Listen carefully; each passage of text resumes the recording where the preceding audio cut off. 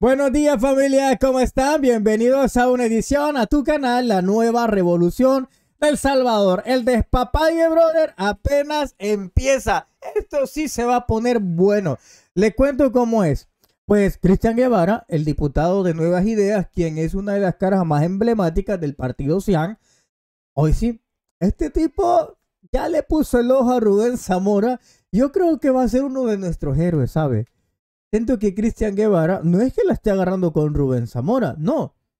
Es que creo que él está haciendo énfasis de un ejemplo de los muchos que pueden estar pasando en estas em, pensiones VIP. Veamos lo que dice Cristian Guevara. Y ojalá, Cristian, seguía así, seguía así, brother. Seguí poniendo el dedo en la llaga. Porque no es justo que gente que no ha trabajado tenga 5 mil dólares 4 mil dólares de pensión solamente porque alguien decidió meterlo ahí. Veamos. Ok, vamos a ver qué es lo que dice el diputado Cian.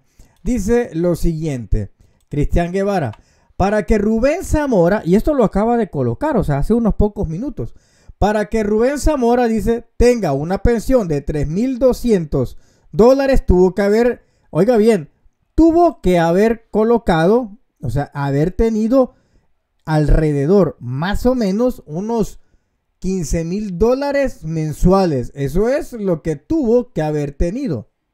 Ahora, veamos la reflexión que hace el día de hoy, hace unos cuantos momentos. Fíjese usted, hace 40 minutos, él dice lo siguiente, y aquí lo tenemos. Vamos a ver dónde está el diputado Sean. Eh, eh, eh, aquí lo tenemos. Hoy sí. Perfecto. Según dice, según la planilla de la Embajada del Salvador en Washington, durante los gobiernos del FMLN, a Rubén Zamora no se le descontaba AFP. Es decir, ya estaba jubilado desde antes con una pensión de 3.200 dólares. ¿Cómo pudo jubilarse con tanto? Y sin cotizar, esas son reflexiones que él se está haciendo. O sea, les dije, honestamente, yo sí me mostraba incómodo por esa cuestión de subir las pensiones a, los que costaban 3 mil dólares, creo que le llegaron a subir, no sé, como 500 dólares, 600, 700 dólares. Y creo que esa reforma de pensiones que se hizo, y se lo digo honestamente, creo que tuvo que haber sido incluso todavía mucho, mucho más eh, investigada y estudiada.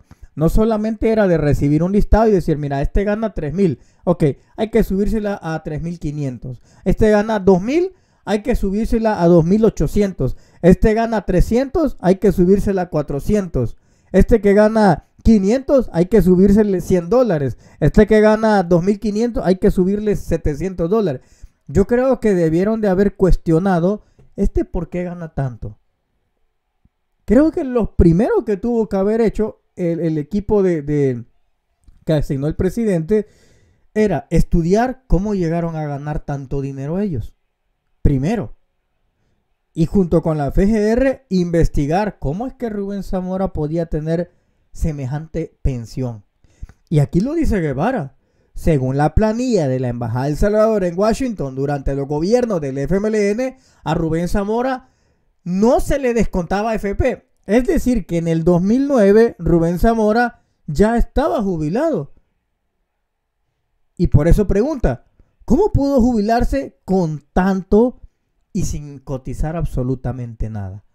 ¿Cómo pudo haberlo hecho? Aquí yo insisto, aquí hay mucha tela que cortar. Y considero de que un político, un ex político, no debería de tener, discúlpeme, yo sé que usted está en contra de lo que voy a decir muchos de ustedes, porque en el planteamiento que dije me decía, Darín, que vos sos tonto, si más ganás, más vas a recibir porque más pagas. Claro, yo entiendo que aquellos que me decían eso es porque lo viven en Estados Unidos, pero mi opinión era en El Salvador no me cuadraba a mí que alguien llegara a ganar tanto dinero y no trabajaba. Y mis sospechas se materializaron. Aquí está parte de lo que le dije. Veo raro que en El Salvador alguien gane 3.200, 4.000, 5.000 de pensiones. Deberían de investigar cómo adquirieron todo eso. Y aquí me dan la razón. Rubén Somara, Zamora es la punta del iceberg. ¿Cómo él recibía tanto dinero si no trabajaba? Ahí se los dejo. Y ojalá que el diputado Cristian Guevara siga así. Ojalá que se vuelva el héroe, el campeón de esto y lance una cruzada por quitarle la pensión injusta a aquellos que no deben de tenerla. Porque para mí esta es una pensión injusta, no sé para usted.